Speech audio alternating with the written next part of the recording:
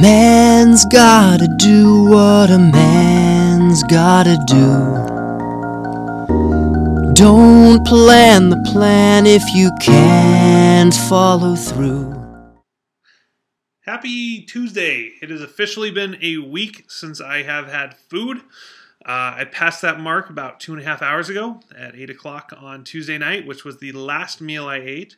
I broke bread with uh, Justin, whose birthday it was tonight. The young chap turned a year older today. So uh, happy birthday to Justin. If you see this, Justin, happy birthday. Hope you enjoyed your wings. Um, and with the Bennett gals and uh, Micah. So it was a great time last week. Um, today's been pretty decent. Uh, overall, I'm feeling better uh, dealing with the hunger a lot better. Not so well dealing with the loss of my wife not being here because she has to travel for work.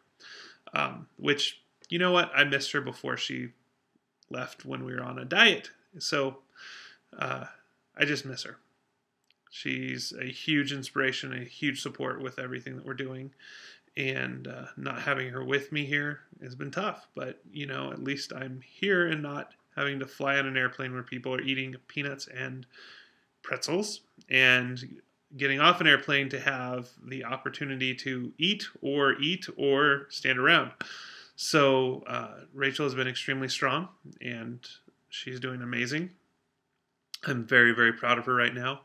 Um, and I just, you know, wish I could have her here next to me. So tomorrow is going to be the weigh-in. Uh, hopefully, we see some dramatic results. If not, then it's okay because I still feel dramatically changed. I don't know if that makes sense, but uh, basically, I just feel like a whole different person, and uh, I'm excited to see where this goes. So, just uh, yeah, check back tomorrow, and hopefully, we'll have some fun new results for you guys. Thanks for catching up with me today, and we'll talk to you soon. Bye. A man's gotta do what a man's gotta do.